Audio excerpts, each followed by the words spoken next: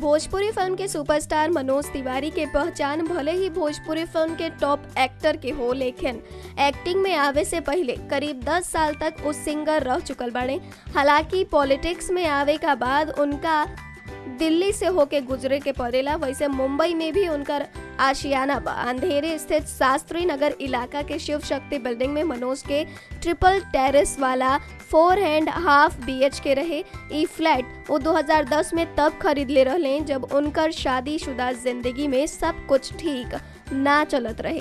मनोज का मुताबिक, पहले वो बंगला के ही बेवली हिल्स में रहत रहलन हालाँकि हालात कुछ ऐसन बनल कि उ दू गो बैग लेके ओ फ्लैट से बाहर आ गइलन।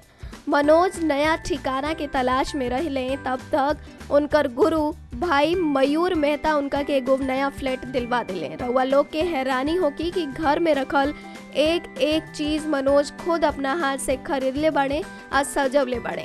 सोफा, कुर्सी, टेबल, लाइट, पंखा, यहाँ तक कि फ़ोटो फ्रेम भी मनोज के ही पसंद के बा मनोज बतलैलन कि मेरा कोई भी सामान दीवार में फिक्स नहीं है, इसलिए मैं जब चाहूँ, अपना सामान उठाकर घर खाली कर सकता हूँ।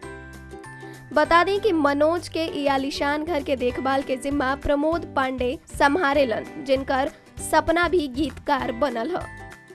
नेक्स्ट नाइन न्यूज़ रूम की रिपोर्ट।